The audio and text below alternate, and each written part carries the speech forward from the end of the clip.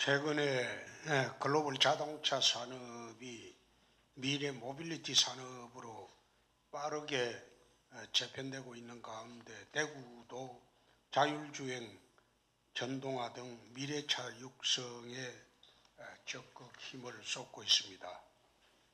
이러한 가운데 오늘 미래 모빌리티 핵심 부품인 구동모터 분야를 대표하는 기업인 코아 오토모티브와 투자 협약을 아, 가지게 된 것을 반갑게 생각합니다.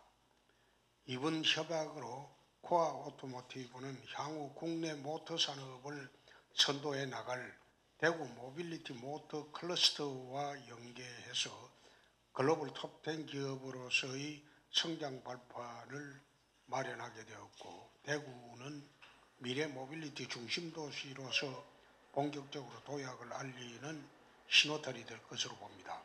우리 시는 새롭게 시작하는 코아 오토모티브가 대구에서 잘 자리 잡아 대구뿐만 아니라 대한민국을 대표하는 친환경 핵심 부품 대표 기업으로 성장할 수 있도록 행정적 정책적 지원을 아끼지 않도록 하겠습니다.